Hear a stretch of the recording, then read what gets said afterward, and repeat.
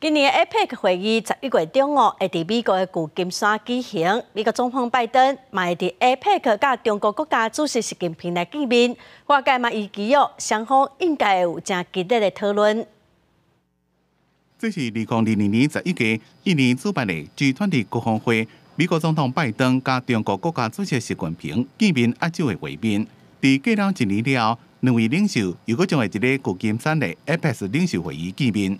对双方沟通的议题，中国外交部第一部长王毅结束访问美国行程了，强调两个国家就会等到一年前的巴厘岛共识，进行有建设性的对话。中国外交部发言人王文斌伫三十个记者会上重申，中国反对台湾独立，并且强烈要求美国方面遵守所谓的中美三个联合公报。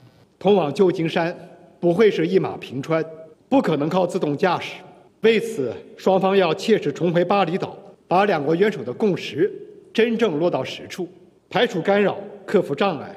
伫美啊，美国白宫发言人上比也也讲，双方拢预期这场国防会两位领袖一定有激烈的讨论。Our policy and how we move forward with China hasn't changed. This is intense competition, right? That we have said that we want to to move forward with with China. We understand that, and intense competition means intense diplomacy. 面对记者问讲，这场峰会是不是讲到美中贸易战，包括关税、晶片供应链等问题？美中双方是拢无讲到具体详细会谈内容。公司新闻，是嘉林编辑。